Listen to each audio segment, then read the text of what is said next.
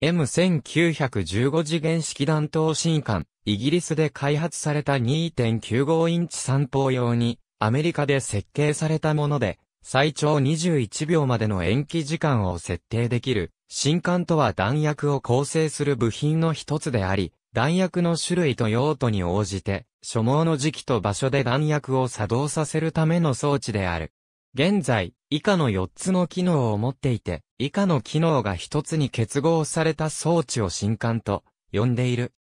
起爆時期を感知する機能所望の時期以外では、起爆させないための安全装置安全装置の解除機構弾薬の起爆装置重夜砲の発射薬に点火する装置は単独では起爆時期を感知する機能を持たないため来艦と呼ぶ。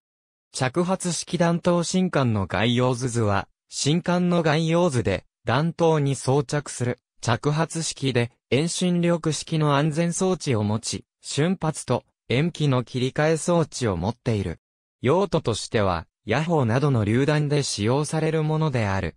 起爆は鋭敏な点火薬が撃発されることで起こり、起爆薬から転送点薬へと伝わり、砲弾の策薬が起爆される。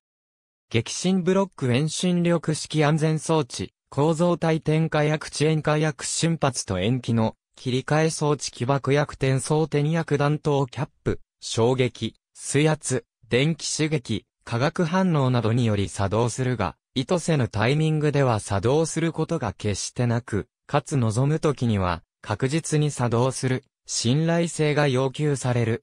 基本的に新艦の動作は二つに分けられる。前半が安全装置解除で、それを行わないうちは叩いても作動することはない。後半が起爆で、これが確実に行われることによって意図する破壊を実現できる。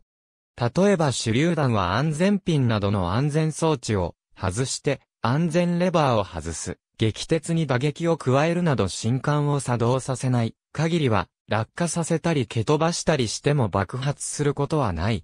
無論そういった扱いを意図的にするべきではないし、火の中に投入したなどの場合には望まないタイミングで爆発させる恐れがある。新艦は装着位置、作動方式、装着対象などによって分類できる。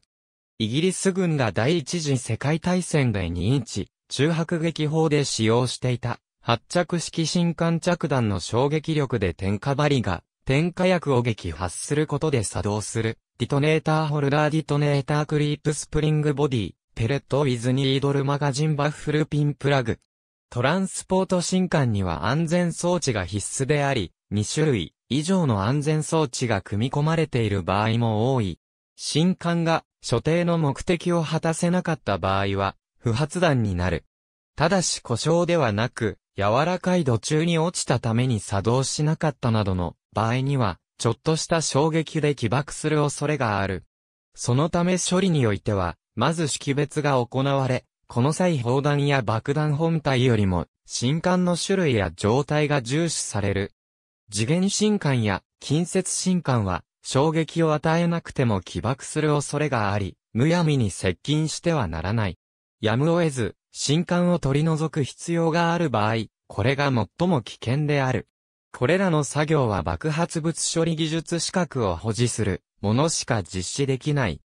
第二次世界大戦後、少年たちの間で不発弾の新艦を用いた危険な遊びが一部で流行し、それは強烈な爆竹とも言うべき存在であったが、その表現で片付けるにはあまりに危険すぎる代物で、死傷者を出したという。新艦は、味方においては、絶対に安全であり、敵に対しては必ず動作しなければならないという、両極端な条件を要求される。アメリカでは、新艦設計の安全基準について、ミル規格、ミル STD-1316 で具体的な基準を定めている。ありがとうございます。